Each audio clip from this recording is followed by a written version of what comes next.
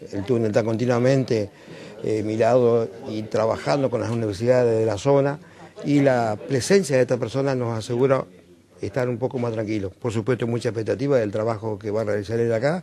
Es un profesional, un magíster, eh, un experto en esto y nos va a brindar todo lo que sea en materia de seguridad. Primero, el diagnóstico, cómo estamos y después cómo podemos mejorar. ¿Con qué referencia llega el señor justamente de lo que es nuestro túnel?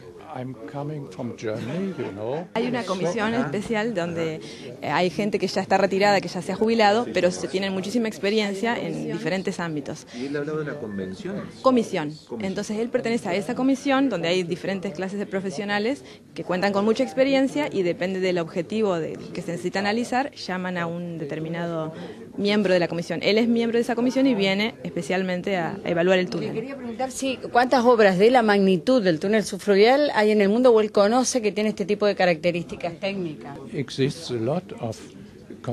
Él viene de una región del norte de Alemania, cerca del mar Báltico, donde hay muchos túneles. Entonces él tiene mucha experiencia en los diversos túneles que hay ahí. En base a esa experiencia, él viene aquí a, traer todo su...